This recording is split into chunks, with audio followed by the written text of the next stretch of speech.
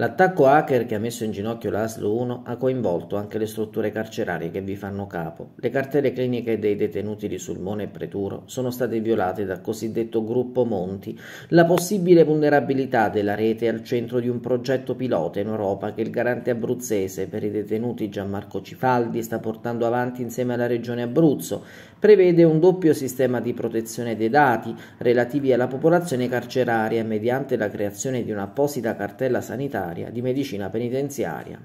Ma penso che sia utile, in particolare dove ci sono detenuti eh, particolari, appunto come, come quelli al 41 bis, avere una protezione ulteriore dei loro dati sia importante.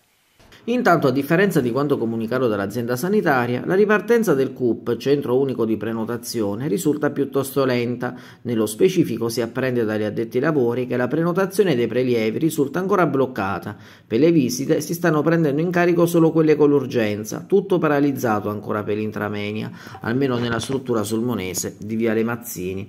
Nel frattempo il caso dell'attacco hacker è finito in Parlamento con l'interrogazione presentata dalla senatrice Gabriella Di Girolamo, che vuole far luce sulla vicenda, soprattutto sulla protezione dei dati sensibili messa a dura prova dai pirati informatici. Io mi sono permessa di interrogare direttamente il Presidente del Consiglio e ehm, il Ministro di riferimento e per loro tramite anche il Garante della Privacy, visto che mh, questa operazione ormai è possibile con il nuovo regolamento del Senato.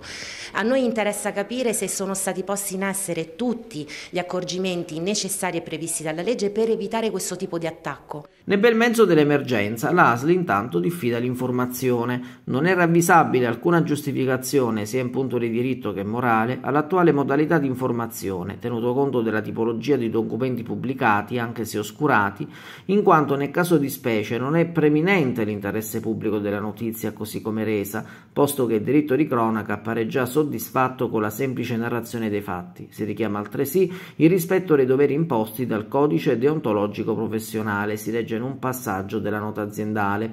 Non si sa chi è diretto il richiamo dell'azienda, che appare comunque sacrosanto ai fini della protezione dei dati trafugati. Tuttavia, visto lo spirito di collaborazione, rivolgiamo un accorato appello all'azienda sanitaria a non replicare cioè quanto avvenuto in tempo di Covid, quanto più che aggredire con fermezza l'emergenza, si spostava il tiro sui giornalisti che mettevano in luce le problematiche. La priorità in questo momento deve essere il ripristino in tempi brevi del sistema informatico, visti i disagi a catena per utenti e operatori di tutti i presidi. Di certo la problematica non si risolve con una diffida generalizzata ai giornalisti, soprattutto a quelli che suppliscono il più delle volte alle carenze della ASL con la corretta informazione.